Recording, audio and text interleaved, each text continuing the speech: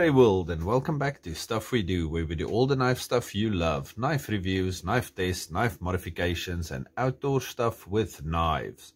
Today we are talking about the 1907 model bayonet for a Lee Enfield rifle. Okay, um, it's quite difficult to get this whole thing in, but let me quickly show you. We'll go through everything now. This 1907 model bayonet was made by Lee Enfield because their um I might say this wrong. I think it's the Mark 3 no, something 1 Mark 3 or Mark 3 something 1. I'll put links in the description. Anyway, in South Africa, we call it a donkie oor 303. So it's the old um, 303 caliber Lee Enfield rifle with the weird knobs at the top. Okay. Now, there's a round hole that fits in here. And then over here we have a... I hope you can see that. When you push this, there's... You see that? Let me just get some light in there. Okay, anyway, so it moves in and out, and then you slide this onto the front of your um, rifle, and that is your bayonet. The reasoning behind this was um, the 303 that this fits on, the Lee Enfield, is a shorter gun. So they made this thing extra long so that the guys using those guns with these bayonets would not be in a disadvantage against other people. Okay, Let's quickly look at a few of these markings. Well, the ones we can see at this stage. We have the crown there. Let's see if we can get this. There we go. Okay, we see this uh, 19007. That's not the year, that's the model. And then we see the crown over there. That's for George V. At the bottom, we see Wilkinson. Um, this was Wilkinson made this. This is before Wilkinson sword or whatever. And then um, there's two extra markings over there and then there which is 3 and the 18 okay that is the actual date of this bayonet the 3 is for March and the 18 is 1918 now this thing fits onto the 1917 Lee Enfield that my father still owns um, we had two. He gave me one, but I changed it and it became, um, well, I modernized it a bit and now I'm still using it for hunting rifle today.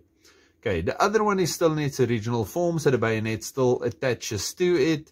And so this one actually belongs to my brother. Okay, so my father asked me to see if I could fix it up. Because do you see there's a few really horrible rust spots on it. Okay, so this thing was lying in the ceiling of the house, if I can remember correctly, and he forgot it there. And then recently he found it, and he gave it to me to try and fix up.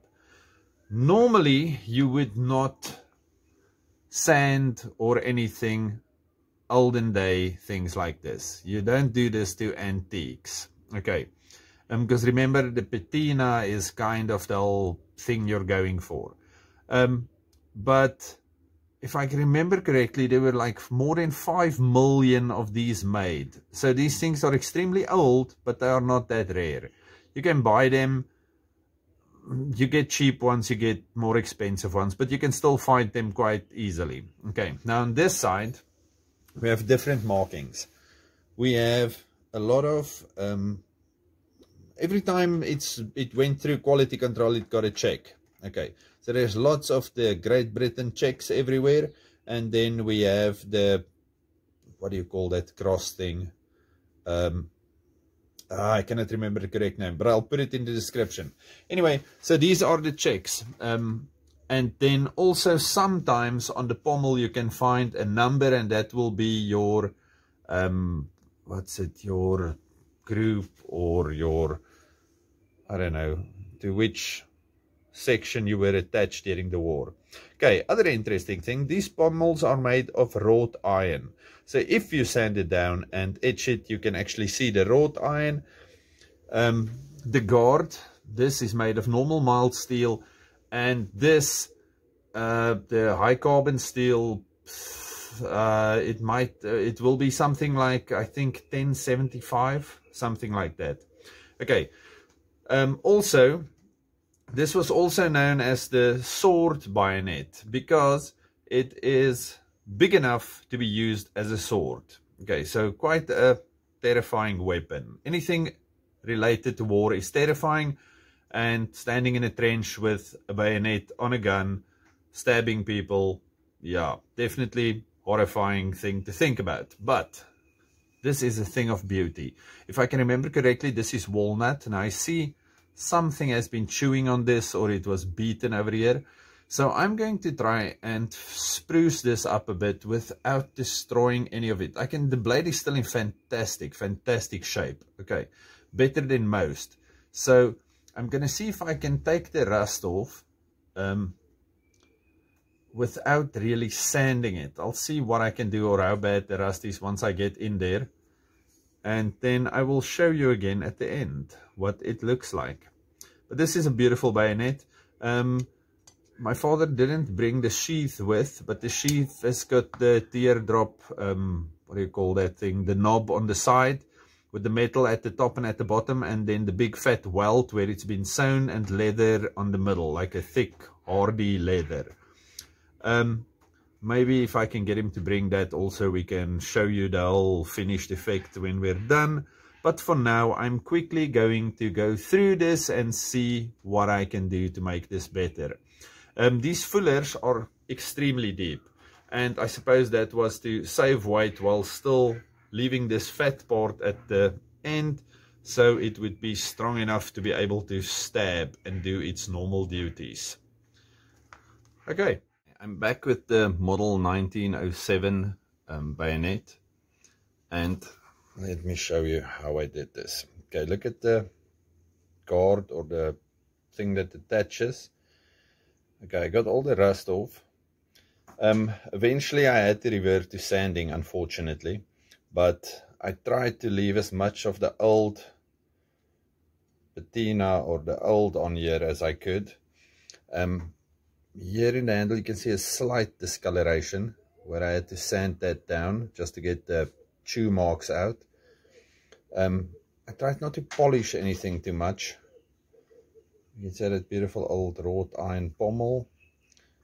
This has been cleaned and it works beautifully. Don't know if you can see in there, but if you press that then the mechanism, so that works nicely. Um, over there we have the X uh, and then all the check marks and then if you could see the horrible thick rust that was on here I took it off without taking off too much of the patina because remember this thing is 103 years old and it saw at least one world war and however many other skirmishes. Okay I'll take it outside. I didn't put an edge on here but it's sharp enough to do what it's supposed to do and you can see a few nicks in the blade. That might have been from war or playing outside. I can remember what I did to this thing when I was small. But it looks beautiful. Beautiful round spine. Okay. So I'm going to show you a few pictures outside but yes this was quite fun having it with me I wanted to wait until I had the sheath and the gun to put it all together and show you um, but yeah that didn't happen and I'm in a hurry to get this out so Stay safe, happy, and have a good one. Bye-bye. Quick look at the 1907 model bayonet for the Lee Enfield 303. Stab, stab. Okay, please excuse my work dungeon. Um, but I did eventually have to give that Enfield once over with this M3, um, what do you call it, grinding disc. It's a soft thing, um, just to get the deepest rust out. Chicago Forge.